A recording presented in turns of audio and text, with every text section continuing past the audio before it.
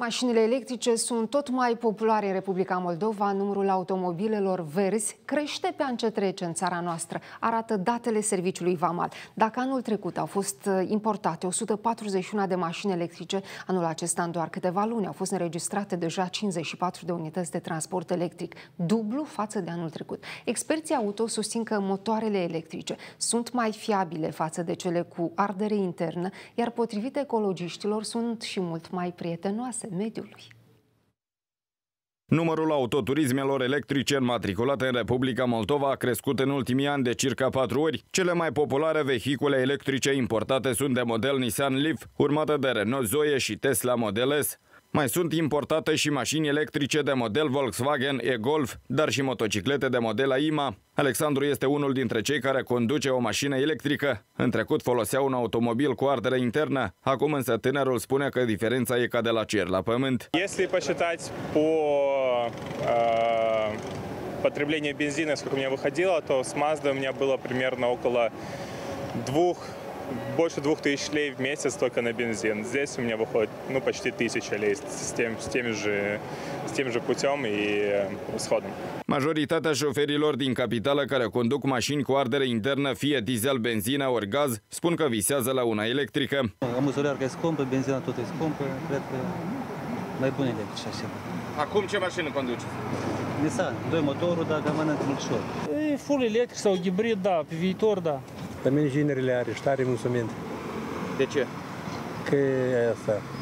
Economă. Cheltuielile lui economic, în timp de jumătate de an s-au cheltuit cu 500 de lei. O infrastructură până când nu-i, nu-i făcut pentru așa, așa ceva. Dacă e prin oraș, cătă, da, dar undeva prin sat, e unde să o limitezi. Potrivit expertului auto Constantin Mihailache, mașinile electrice se rezumă la niște verificări succinte, pentru că neavând motor cu ardere internă sau cutie de viteze, nu au nevoie de schimburi de ulei și alte consumabile specifice. Motoarele electrice sunt foarte fiabile, prin construcția lor ele pot să, să meargă foarte mult.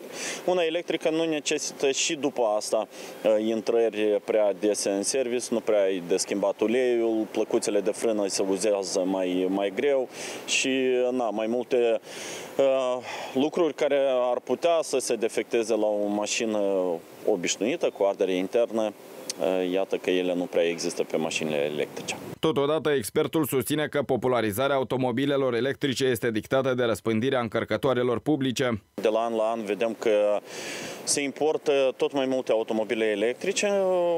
Motivul este unul destul de simplu. Cei care utilizează mașinile în mod normal prin oraș în mare parte, ei și le aleg pentru că este mult mai ieftin. De exemplu, ca să încarci o mașină cu o baterie care este destul de mare, de 70 de, de kW, te costă cam la 140 de, de lei.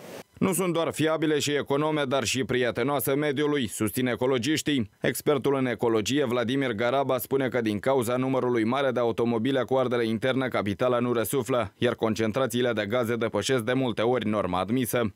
Autobuzele, care sunt sute de autobuze cu motoare diesel, și zeci, sute de mii de automobile, autovehicule.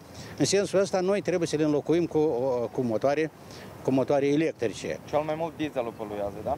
Cel mai mult dieselul poluează, sigur, pe primul loc, apoi și a, a, cu ardere internă, cum ar fi cele cu benzină și chiar cu gază, fiindcă se arde și se elimină, afară de H2O și CO2, se mai elimină și azot și ozon și alte substanțe care sunt, cum am spus, foarte toxice pentru organismul uman. În prezent, în Republica Moldova sunt peste 20 de prize pentru alimentarea automobilelor electrice. Acestea sunt instalate în Chișinău, Criuleni, Orhei, Bălți, Soroca și alte localități ale țării.